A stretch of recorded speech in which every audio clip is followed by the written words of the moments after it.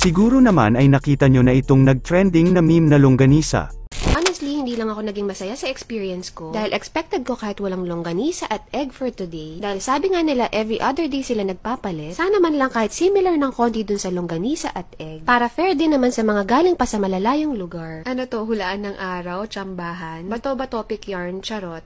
so dapat pagpupunta ka dito malakas ka magdasal. Dahil hindi fair or same yung sineserve nila sa bawat araw. Sayang lang, walang longganisa. Yun yung habol ni Carter.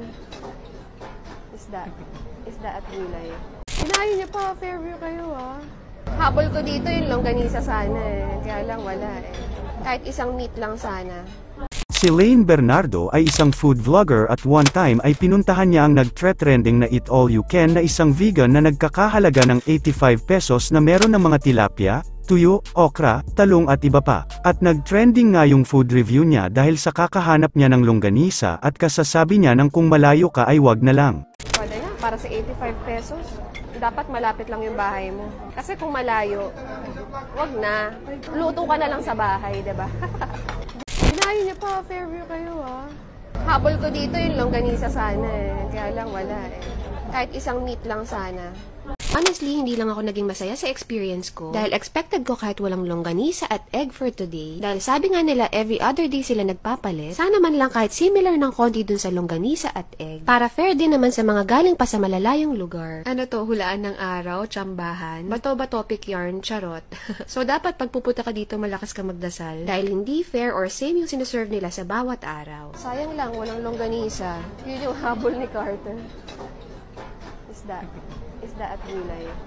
Ah, haba pa.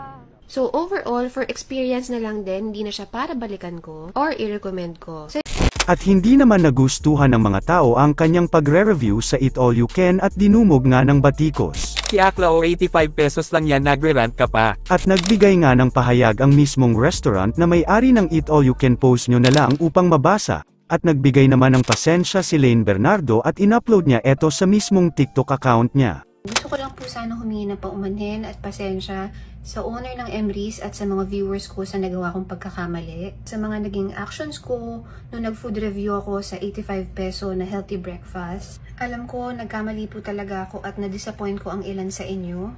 Ako rin ay personal nang humingi ng paumanhin at pasensya sa owner ng Emrys nung na-realize ko yung pagkakamali ko. Gusto ko rin mag-thank you sa mga nagko-comment sa akin kasi kung hindi dahil sa mga comments nyo, hindi ko mapapansin yung pagkakamaling nagawa ko. Maraming maraming salamat po sa mga opinions nyo dahil yung mga opinions nyo, malaking parte yan para mas mapabuti ko pa yung mga ginagawa ko. Anong memes ang gusto nyo talakayin ko sa susunod na video comment mo sa baba muli eto ang I Love Memes na channel.